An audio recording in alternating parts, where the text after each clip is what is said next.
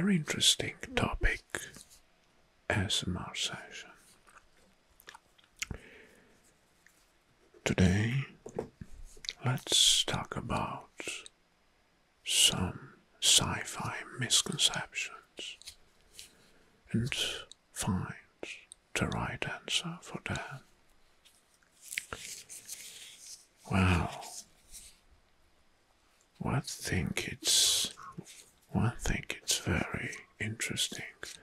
We're gonna talk about sci-fi and uh, for ASMR things I'm still using the pen and paper.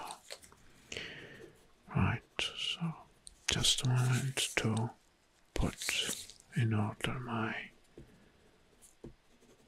thoughts which I collected them on a piece of paper, of course. That's done. Good. So, let's start.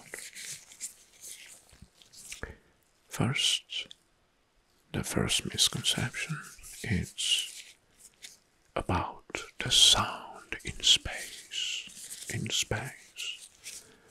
Well, many sci-fi movies depicts sound in space, where we are knowing that there is no air to transmit sound waves.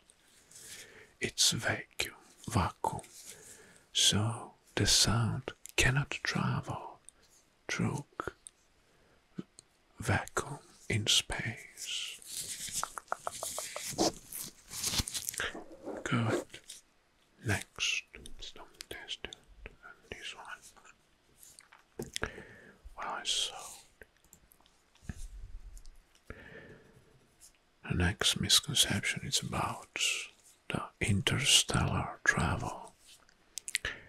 While some sci-fi movies often portrays spaceships that are traveling vast distances across the universe in a very short time. Well, the vastness of space and the limitation of physics suggest that this interstellar travel would likely take a very long time, even with advanced technologies. With advanced technologies. Because we can associate to our current technologies mostly.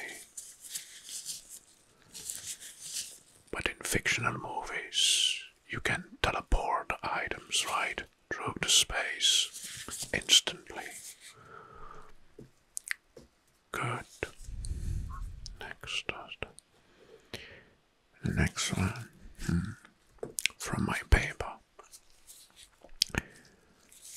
Aliens in sci-fi movies often conventionally speak English, right?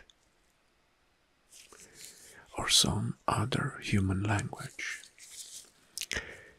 Actually, the likelihood of extraterrestrial life communicating in a language comprehensible to humans is almost impossible.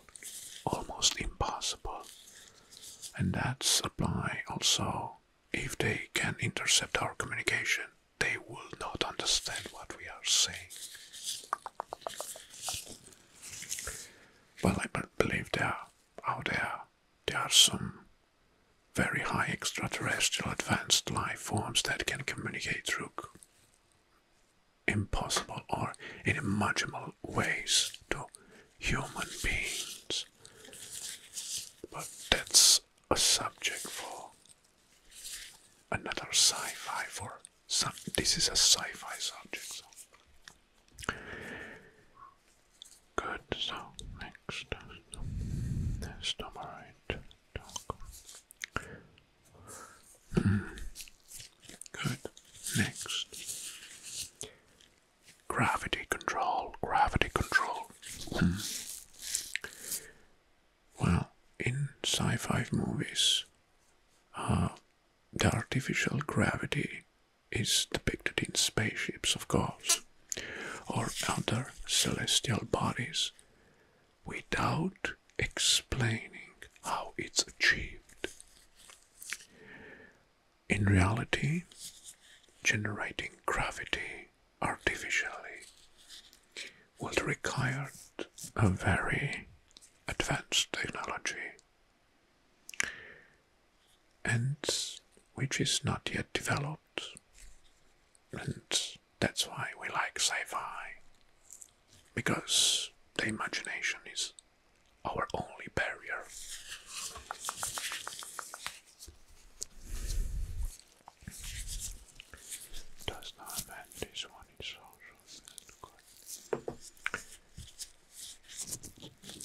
Hmm, Next one. We cannot talk about sci-fi without mention sci-fi weapons.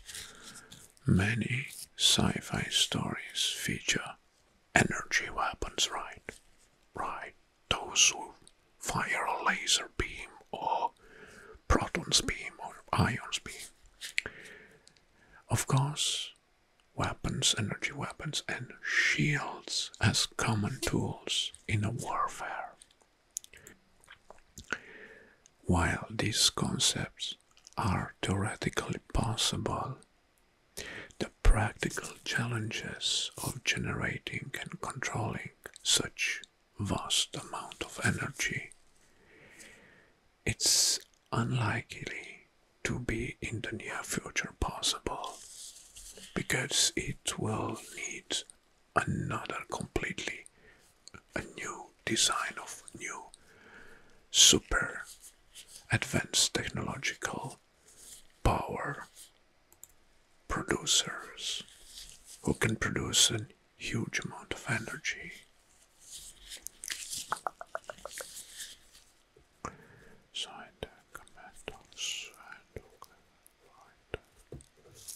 Human travel or time travel in sci fi movies. Time travel was always a fascinating subject. We are knowing that. But in sci fi movies, time travel is depicted and almost it often invo uh, invokes paradoxes that defy the laws of physics and we can imagine how the time travel will look like in a sci-fi movie but based on our knowledge this is impossible right now so uh,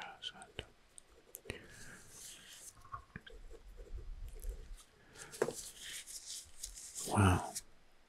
Human likes robots, so human like robots and artificial intelligence.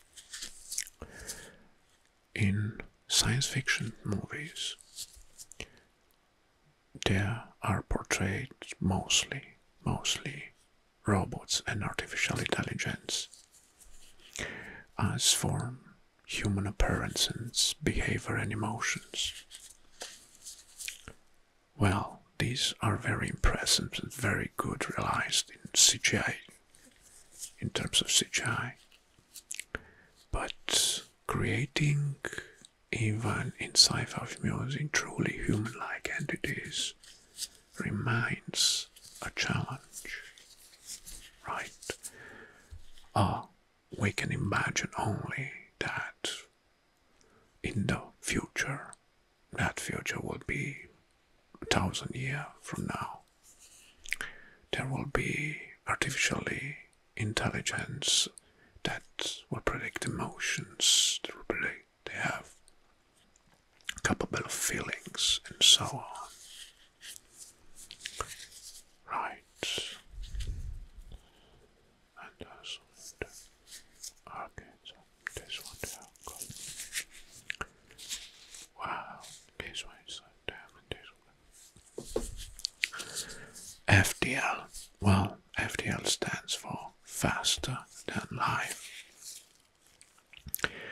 This is a trend in many sci fi movies, enabling a character to travel between two points A and B with in a short time or between star systems.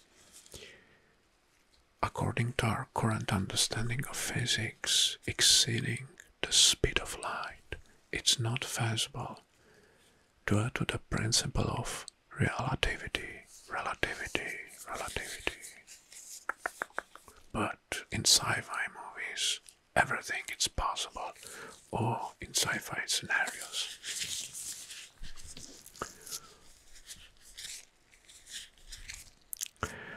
Well, science fiction is about space and aliens.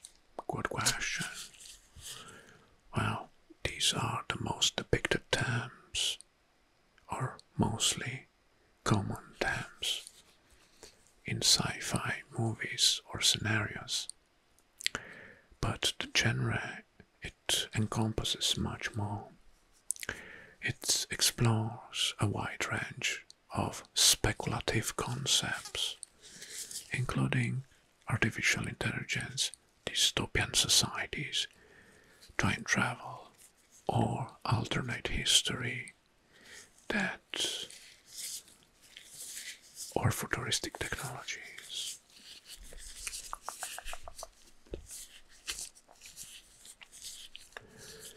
Goes on then this one is gosh some better. Okay, so good. This one is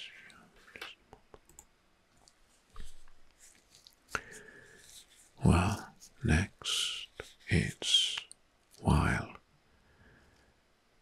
its sci fi science fiction scenarios or movies are predictive, while some science fiction works aim to predict future technologies or social trends. Many others. Types are concerned with exploring philosophical questions or simply entertaining the imaginative, imaginative, imaginative, sorry, worlds.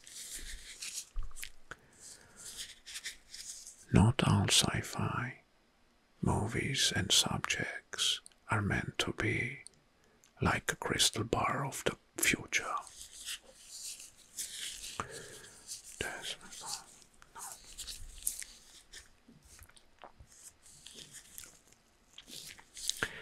Well, next one, it's a good one. It's sci fi only for jigs.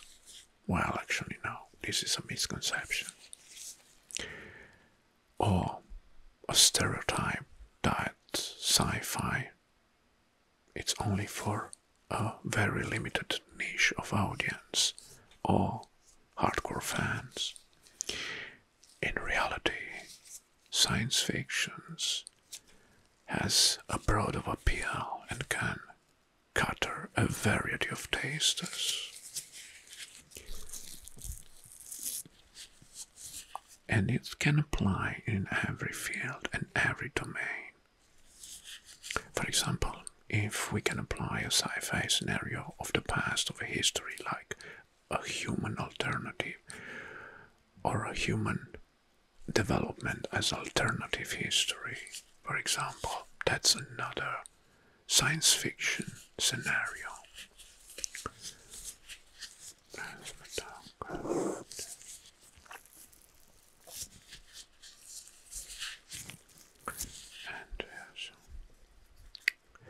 Sometimes some people mistakenly believe that science fiction lacks of literary merit compared to the other genres.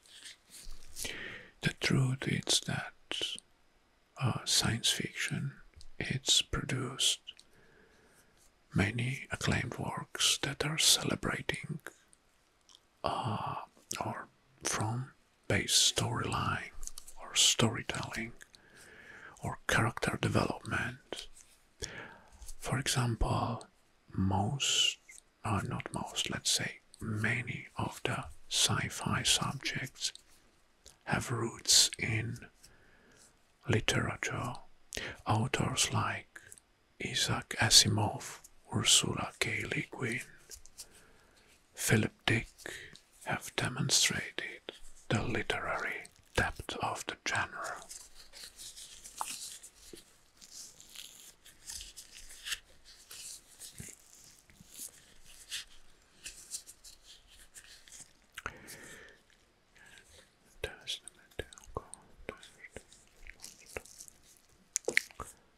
Science fiction is about always new and future technology.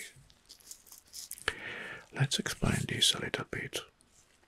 While futuristic technology is a common feature in the sci fi scenarios, not all the works were focused or are focused on high tech gadgets and supers and or alien civilization.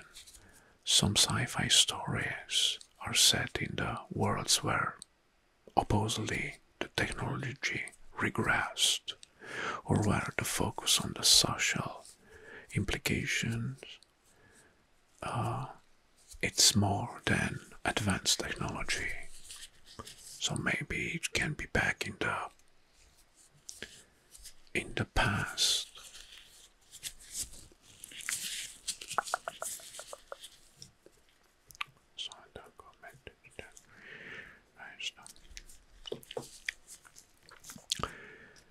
Another misconception sci fi is just for escapism. Well, the science fiction provides escapism.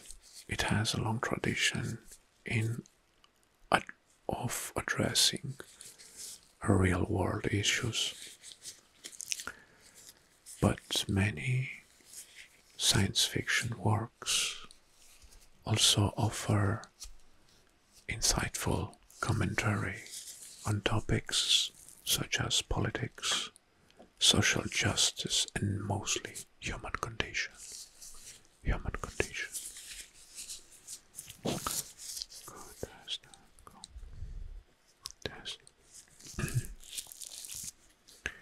Next.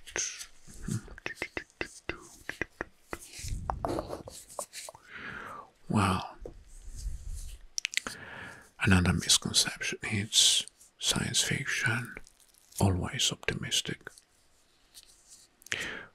If it's American, yes, there will be a happy end. But while some science fiction stories present a hopeful vision of the future, others, don't forget, are exploring a dystopian or apocalyptical scenarios. So they were pessimistic in that point of view. The science fiction is a versatile genre and has many outlooks. From the utopian dreams to cautionary tales of the dystopian or human folly.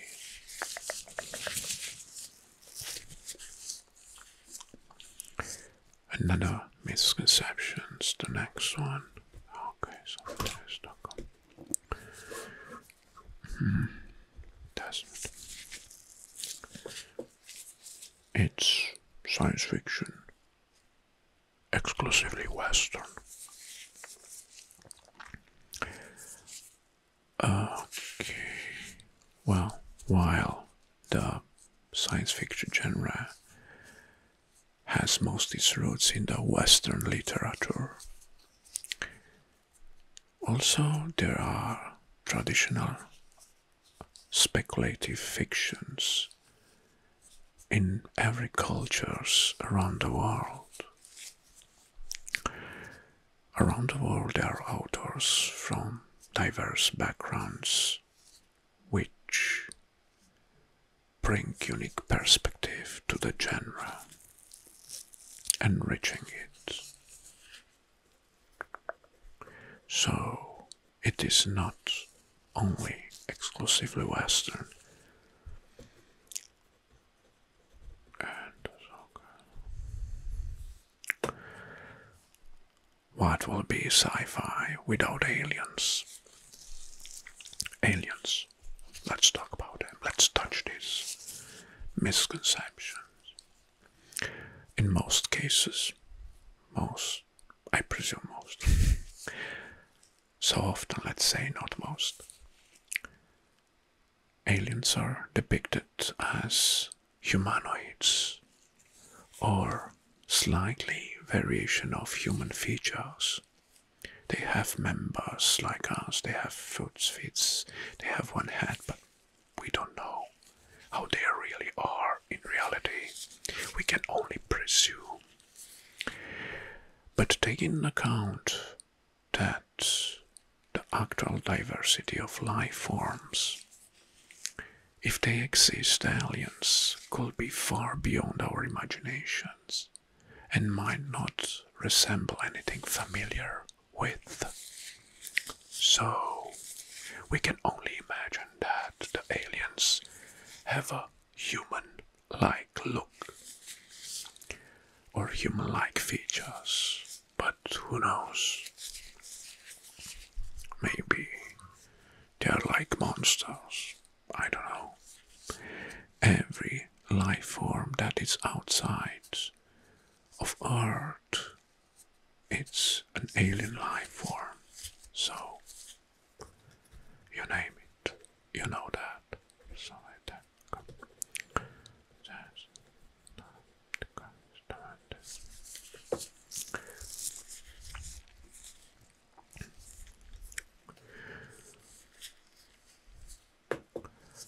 Well, this one is interesting. Did the science fiction emerged in the 20th century? Well, while the term science fiction was coined in the 20th century, speculative and fantastical elements in storytelling date back much further. Early examples can be found in ancient mythology, such as tales of flying machines in Hindu epics or the travels to fantastical lands in works from authors like Homer, the Odyssey. Yes, the Odyssey from Homer. Homer. It is a very science fiction storytelling.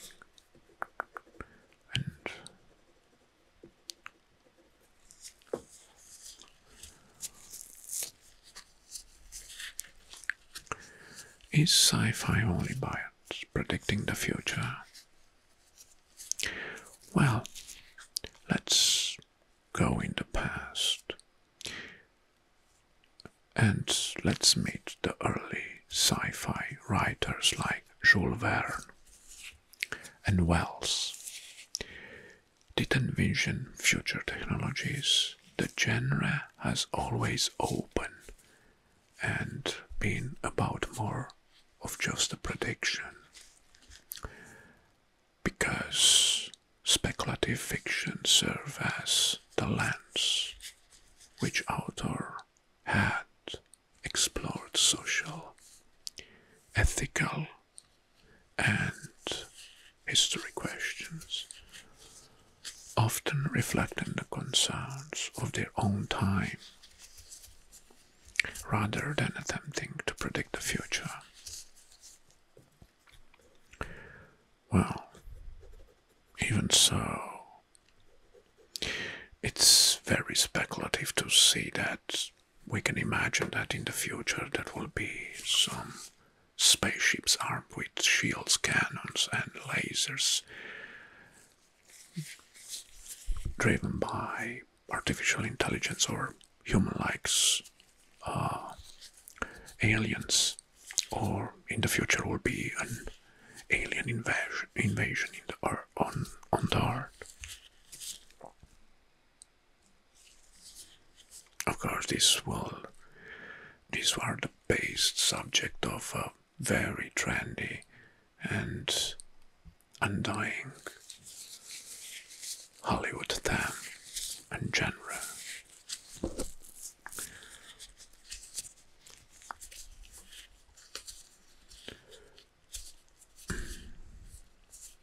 Good, so test again.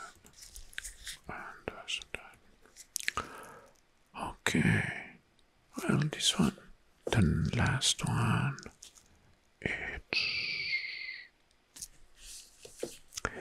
When I was very fascinated about Star Wars. And now on, but when I was young, I was dreaming to be a Star Wars hero. So, early sci fi was only for children. Another misconception. In some ways, the early science fiction works were targeted at younger readers. Many were intended for adult audience. But let's again return to Jules Verne. Authors like him wrote abroad of readerships and addressed mature themes in their work for all the genre and all the ages. The perception of sci-fi as primary juvenile literature began to change mostly during the 20th century. 20th century.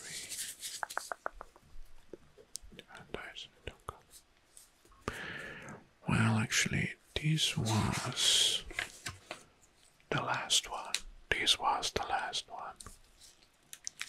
So, Desmond. Good. Well, I hope you enjoyed. This was some sort of soft spoken and whispering at the same time. I hope you enjoyed this kind of subject, which for me was very interesting. And of course, we are at the end now. Until next time, uh, of course, I wish you all the best. And don't forget to let down, to drop a comment below. I want to know your opinion about this kind of series of misconceptions. Thank you. Bye bye. And so it's this one. Okay, I'm still using the